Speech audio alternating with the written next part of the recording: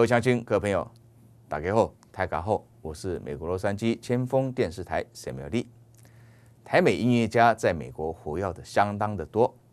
就我个人而言呢，我今天非常高兴，因为我今天邀请到了我以前在大学时代心中仰慕已久的温荣信教授。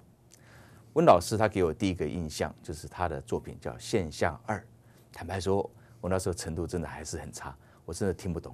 不过到现在听得懂吗？我也蛮怀疑的。所以今天很非常荣幸的邀请的，现在在目前还相当活跃的啊温荣信教授来到我们今天现场啊，让他现身说法，跟我们跟我们乡亲，大家朋友大家见个面啊。温教授你好，你好，哎，安好哈，大家观众大家好，哎，今天非常谢谢你来，哎，谢谢，我也是很荣幸来到这边，因为我知道最近哈，你你是住在那个呃洛杉矶啊，而且你自己还有自己乐团，而且好像活动蛮频要的哈。还好啦。啊，最近在呃台湾在五月五月嘛哈，是是五月，你还有一个是五十周年的音乐回顾展嘛哈。是这样。那我今天非常高兴您开那么远的车来到这边哈。哎，几个问题想请教你。我们这个现在讨论你的音乐世界，好，因为我想讨论音乐世界，我知道就我个人而言哈，我我我俺没哈干，我是客家人哈。嗯。就就有人讲说客家音乐家我崇拜的哈，当然从邓以贤开始，第二个就是涂敏洪。啊，那现在最多产的哈，这个多产听起来很像是女生哈，这是作品来讲，我是非常佩服你，因为我看你每次演奏都有新作品出来。是的，哦，这个不不简单，不简单哈，这个是我们客家才子啊。谢谢谢谢。我想来听听看看你的音乐世界好不好哈？我也简单去了解一下你过去哈，就是您父亲也是 pharmacist 的嘛哈，是，他本身也会拉 violin，是的，但是他不让你学音乐啊，那你怎么会踏入音乐这这条路哈？没有，他不是不让我学音乐。事实上，呃，那个小提琴启蒙还是他启蒙的。哦，对，但只是他后来发现情况不太对啊，就是说，哎，怎么这个人越来越喜欢拉琴？这样子，这叫不对的，这叫情势看起来不妙，所以不妙。然后他心中有他的谱，他希望我去念医学院。啊，所以那时候我们是必须要去念甲组，高中开始就要念甲，就要准备三年，要准备考甲组医学院。然后他说你就是要考医学院，嗯，所以呢你就不要拉琴了。哦，哎，可是我我心里在想说，你叫我不拉琴也很难办呐，所以我就把琴拿到学校去，在学校的音乐教室偷练，然后练完再回家。哦，嗯，是这样，所以过了一段也是算平安无事的日子。那他想大概哦，会花旗啊，没已经没有 没有，大概他没有在练琴了，而他不知道我每天放学后在学校偷练，然后然后后来就呃开始考试了嘛哈，嗯，那那时候我们的考试是比较特别，那在几十年前哦，四十多年前，联合招生你就是必须要去考一般的科系，嗯，那音乐科系大部分都是因为那时候没有什么音乐科系，呃那时候。台湾只有一个音乐科系，叫做国立艺专。艺专只有那个哈，还有师大，师大有。对，他的分野那都还没有。那什么大文大什么都没有。对，那那个时候就是说，呃，你要去考师大了，就是你准备以后要当老师的。对对对。那如果你要想当音乐家的，可能就跑去去艺专。好。那我好不容易跟他挨到高中毕业，那我又去考了联考，我也考上了医学院。嗯哼。那我偷偷跑去考音乐系。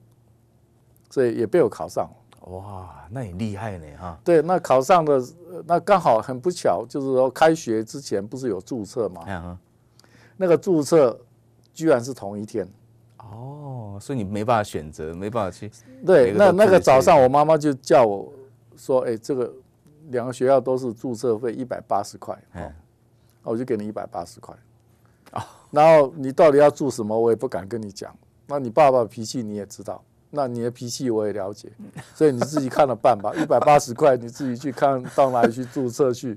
哇，所以你妈妈在两个男人之间很难做，很难做抉择。对，对。那老老师，你为什么后来就选择去注册医专呢？没有，因为基本上我们家族都是医生多，是，我也看多了。是，那我觉得我比较。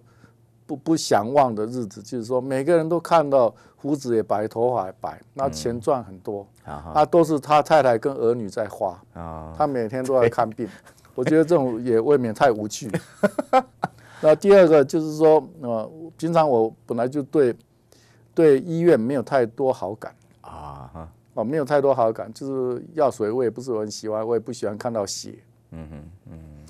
那所以因此，我觉得另外一样有一个声音，就是一直一直是困扰我，就是还是要学音乐，还是要学音乐。对，那个比较迷人了。是是是。对，所以到下午实在快再不注注射不行了。哦。所以就是跑到板桥去。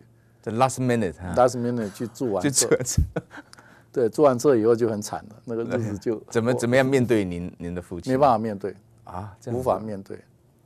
对他从此以后就几乎把我逐出家门一样，就完全不理我。呃，就丢给我一句话说：“要饿死不要来找我。”嗯，不过我们客家人家都这样子哈。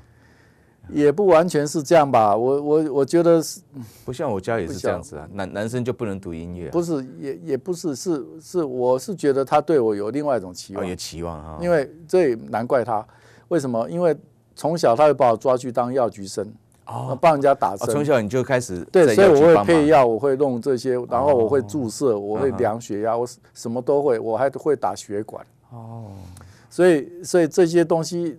对，而且他看起来，哎，我学药理也学得很快啊，然后什么，他不在也一样可以帮人家。而且你考到医学院不去念，做秘医，哎，你考医学院不念，这是最大恶极。对啊，在当初绝对是不可能的事啊。对啊，因为考医学院已经头破血流。对对啊，所以他大概也是怕我以后日子过得不好。哦，那对啊，就主要也这样。因为他所了解的就是舒伯特啊、莫扎特都是饿死。那那你在艺专第一个启蒙老师，你可不可以提一下？哪方面的启蒙？因为事实上我们很早就就已经都在学，我七岁就开始学。那在在艺专的时候呢？艺专的时候我们就碰到很多老师，那时候事实上就是已经是专科学校了嘛。是。所以呃，我碰到很多的老师，像邓昌国老师。邓昌国哇，马西生老师。然后我的作曲老师就是许昌卫老师，他刚从巴黎回来。呀呀，对。所以你现在你你也作曲也学嘛哈？那时候主修是 violin 吗？我那时候主修是两个，一个是 violin，呃，刚开始是 violin，然后再来转作曲组，所以后来学校就让我先做 double major。是是，呃，然后到高年级的时候又又就手痒，又跑去修指挥。哦，嗯，就是跟那个 Doctor Schultz 啊，啊，肖肖肖兹肖兹来，所以我就去拜师，然后跟他修指挥这样子。嗯。